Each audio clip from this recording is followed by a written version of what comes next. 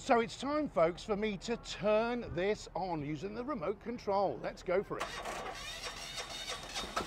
Woo!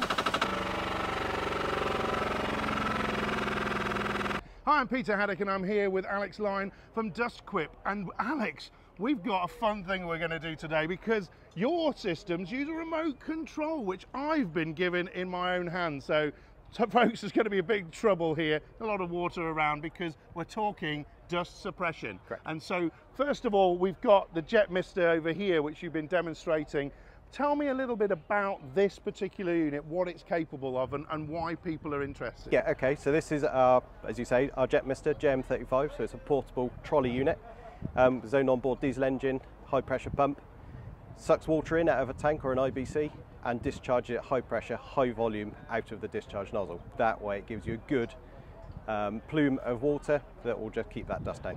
What I like about this uh, team here um, at Dustquip is that actually you manufacture your products in the UK and you've Correct. got top quality components inside, Inside. here, haven't you? Tell me a bit about the production facilities and why you know it's it's got the premium products in there. It's our own design, it's Yep. our own build. We actually build them ourselves at our own factory in Bristol. Um, and we decided to go down the route of using high quality components Yep. um, because that I think is what the industry wants. They want something that's reliable. They can turn it on, use it, and they know it's going to start and run every time. And that's fantastic, folks, because what it allows us to do, any spare parts that you need, they are available, and Yep. therefore you get this back up and running, and the maintenance is there, and the longevity of service life is there as well with that With component. the good isn't it? quality. That's it.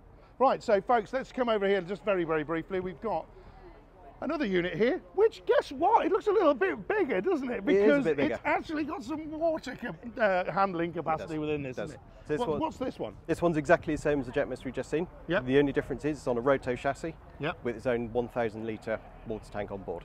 So you can tow it to position, put the mast up, start it up. And away you go. And away you go. So now, folks, it's time for you to join me over at the Jetmister that is connected to the huge amount of water over here. These guys are lining up over here to get saturated because we're hoping the nozzle has been pointed in the right direction. So it's time, folks, for me to turn this on using the remote control. Let's go for it.